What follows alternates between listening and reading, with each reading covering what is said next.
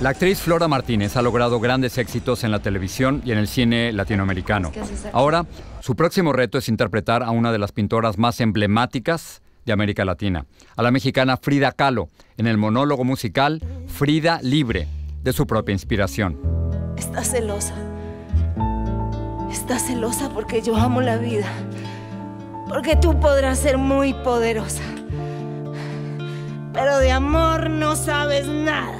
¿Cómo se atreve una colombiana a escenificar a, Frida? Y luego pensé eh, otros debates, como cuando a un actor español le dan el papel de Cantinflas o a un eh, actor brasileño le dan... El papel de Pablo Escobar. el papel de Pablo Escobar.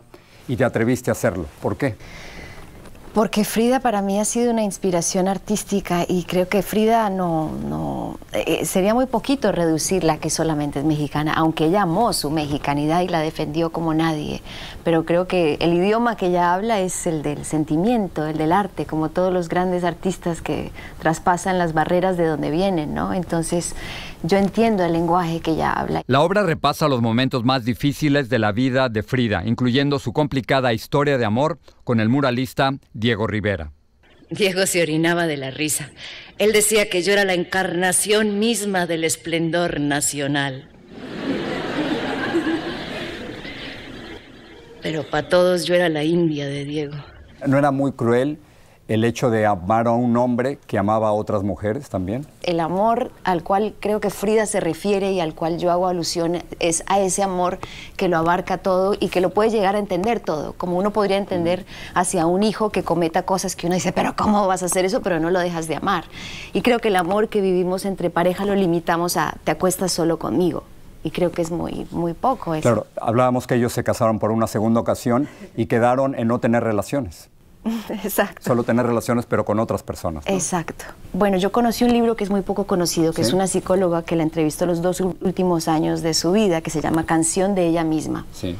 Song of Herself. Y Frida estaba muy mal al final, sin su pierna, bebía mucho y fue muy doloroso, pero aún así ese amor que ella tenía por Diego era lo que la sostenía.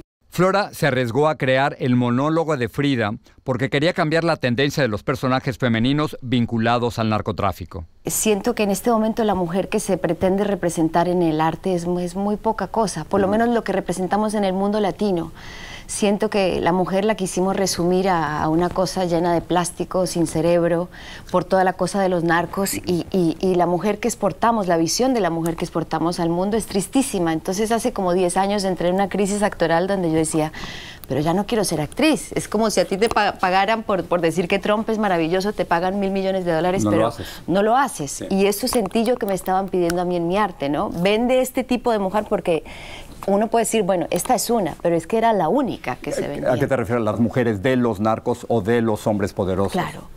Flora nació en Montreal, pero creció en Colombia durante los años oscuros de la guerra entre el gobierno y la guerrilla de las FARC, y aún le preocupa el futuro del país tras la firma del acuerdo de paz. Después de tantos años seguimos en la misma. Los mismos problemas, las mismas discusiones, la misma gente inocente muriendo a capa y espada o sea, terrible.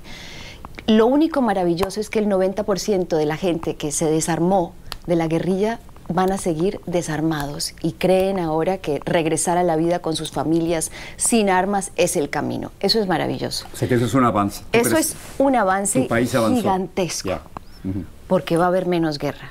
En lo que no avanza es en 10 locos que asumen nuevamente, no te estoy diciendo que no esté de acuerdo a lo mejor con lo, con lo que ellos pueden pelear, por lo que pelean en una ideología y por lo cual no están de parte del gobierno.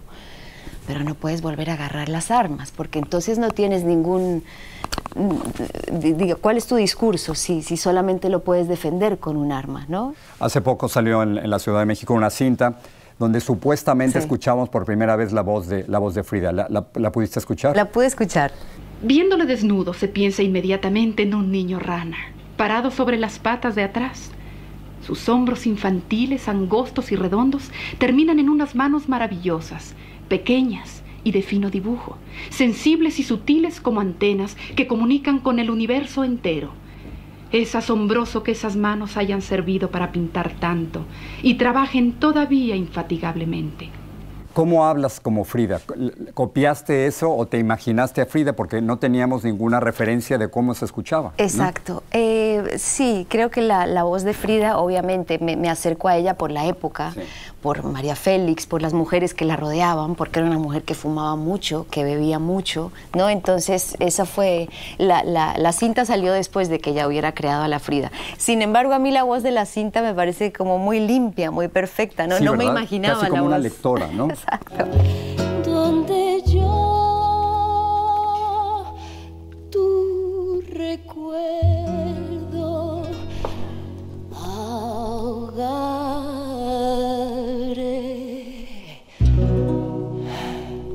Gracias.